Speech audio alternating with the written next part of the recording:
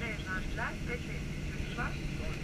Temel işleri tanıncaya kadar kemerinizi bağlı tutunuz ve yerinize oturmaya.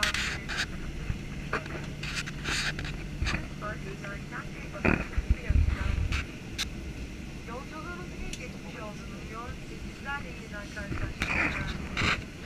Merhaba. Türk Hava Yolları ile uçtuğunuz için teşekkür ederim.